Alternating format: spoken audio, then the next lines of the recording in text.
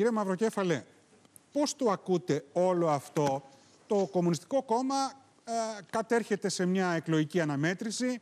Οι δημοσκοπήσεις σας δείχνουν ότι μάλλον πάτε καλύτερα από ό,τι στις προηγούμενες εκλογές. Όλα θα κρυθούν βεβαίως την επόμενη Κυριακή.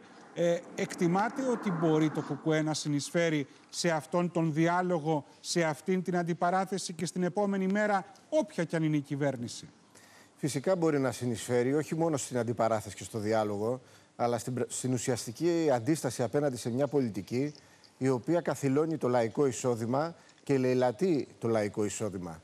Γιατί εδώ ακούσαμε διάφορα μοντέλα τα οποία εφαρμόστηκαν και στην Ελλάδα αλλά και στην Ευρωπαϊκή Ένωση και τα οποία για τους εργαζόμενους έχουν αποτύχει ηχτρά. Γιατί αν δεν το έχουν πάρει χαμπάρι οι συνομιλητές μας, οι λαοί όλης της Ευρώπης είναι στο πόδι. Αναμετριώνται μια πολιτική η οποία στην πανδημία τους οδήγησε στο θάνατο, η οποία τους έχει οδηγήσει σε βαριά εκμετάλλευση και σε πολύ μεγάλη ακρίβεια. Γιατί υπάρχει ένα σύστημα άδικο, υπάρχει ένα σύστημα εκμετάλλευσης, ένα σύστημα βαρβαρότητας, το οποίο δεν μπορεί να διαχειριστεί κανείς προς όφελος των εργαζομένων. Και γι' αυτό όλα αυτά που λένε οι, οι φίλοι εδώ πέρα από τα άλλα κόμματα, επί της ουσίας είναι μια πολύ μεγάλη utopία για τους εργαζόμενους. Τα στοιχεία είναι καθηλωτικά. 33 δισεκατομμύρια ευρώ πλήρωσαν σε έμεσους φόρους οι Έλληνες φορολογούμενοι.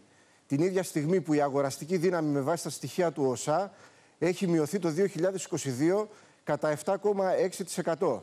Και φυσικά ο κόσμος συχτηρίζει το καλάθι του νοικοκυριού. Όποιος κάνει μια βόλτα σε ένα σούπερ μάρκετ, αυτό μπορεί να το καταλάβει, δεν χρειάζεται να είναι ειδικός. Φυσικά η πραγματικότητα είναι ένας εργαζόμενος ο οποίος φτάνει ο μήνας στις 15 του Μάη, στις 15 του κάθε μήνα και δεν μπορεί να τα βγάλει πέρα. Δεν μιλάμε για τους συνταξιούχους ή για άλλες ειδικές κατηγορίες.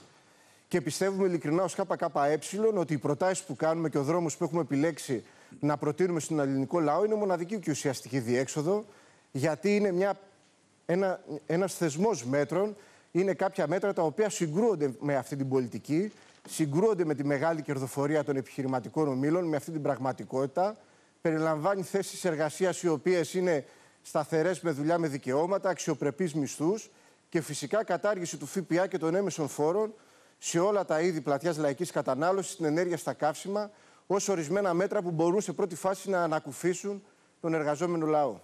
Μετά τις εκλογές, η κυβέρνηση θα υπάρχει και θα είναι αντιλαϊκή, γιατί υπάρχει κοινή προγραμματική βάση Μάλιστα. στο ΣΥΡΙΖΑ, στο ΠΑΣΟΚ, στη Νέα Δημοκρατία.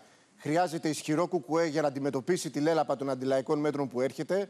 Όπως είπατε, κύριε Κοτρότσο, τα μηνύματα για το κόμμα Είπαμε μία κουβέντα, κύριε Μαυροκέφαλε, δεν έχω Και θα, εκφραστούν και σήμερα στις φοιτητικές εκλογές Ιδιαίτερα με τη συμπόρευση χιλιάδων νέων φοιτητών με την νεολαία του Κομμουνιστικού Κόμματος Ελλάδος. Σας ευχαριστούμε πάρα πολύ.